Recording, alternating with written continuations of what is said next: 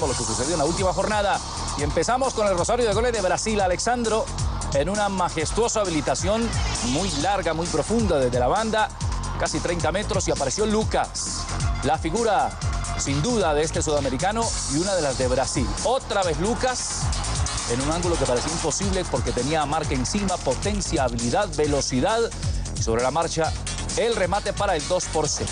Aquí apareció Danilo, que es uno de los laterales del conjunto de Brasil y lo que parecía ir de centro o ir de habilitación se fue al fondo, le pegó con borde interno y la pelota se aniló.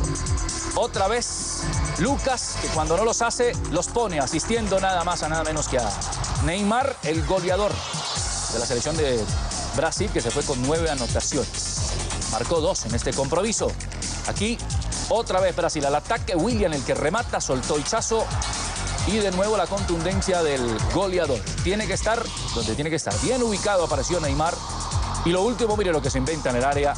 Lucas, que tenía el ángulo cerrado y le disparó antes de que llegara la marca para dejar la cuenta 6 a 0. Pasamos al otro compromiso donde Ecuador de amarillo derrotó por la mínima diferencia con este golazo de Dixon Arroyo a Chile y con ese gol consiguió su tiquete, un puesto en el próximo Mundial de Colombia, que a propósito cayó frente a Argentina. Una falta de Franco sobre Ferreira, el mismo afectado es el que cobra.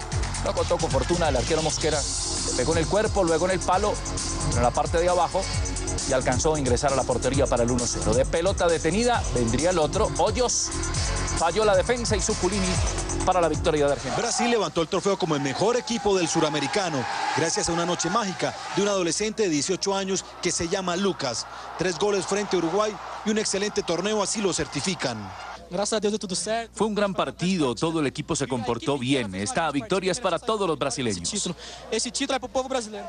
El jugador del Sao Paulo saltó y festejó con Neymar, su socio en este equipo que solo perdió un partido en el campeonato frente a Argentina.